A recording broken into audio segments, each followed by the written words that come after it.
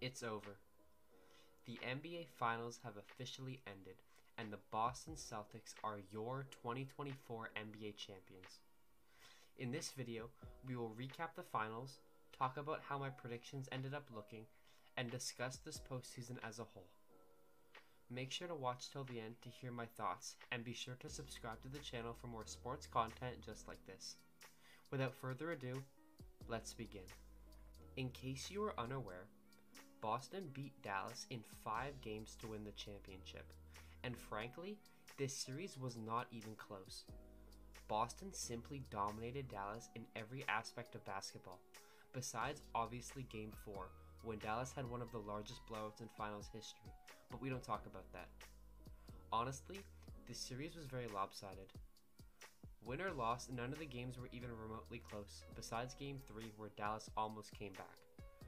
Boston Stars were just all around better than the Mav Stars. Kyrie was mid every game except for Game 3. His shooting was very bad and he took a ton of extremely stupid shots.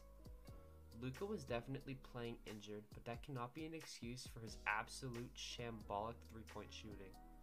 This guy frankly forgot how to shoot from deep, especially in games 3 and 4. On the opposite side, Jaylen Brown was crazy consistent throughout the finals.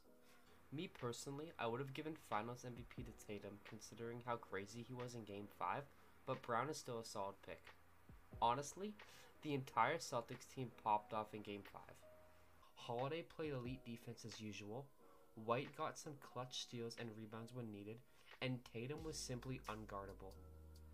Mavs fans should definitely be happy with their team's season, but this loss is still awful considering just how well they were playing up to this point. Boston was just finally the team that was able to shut Luka down and in turn won their league leading 18th championship in franchise history. Now, let's talk about my predictions. My actual bracket had Boston winning the championship. However, I believe I predicted Dallas to win in 6 games. Once again, I expected their offense to be a lot better in this series, and frankly, I doubted Boston's ability to win when it mattered most. I was obviously proven wrong, which I'm completely fine with. I'm happy for the Celtics, especially Al Horford. This was a long time coming for this group of players, and this was finally the year they were able to get over the hump. Congratulations. Finally, let's recap the postseason. Honestly, this postseason was kinda boring. Tons of injuries that just made some series so predictable, and not a whole lot of crazy upsets or crazy comebacks.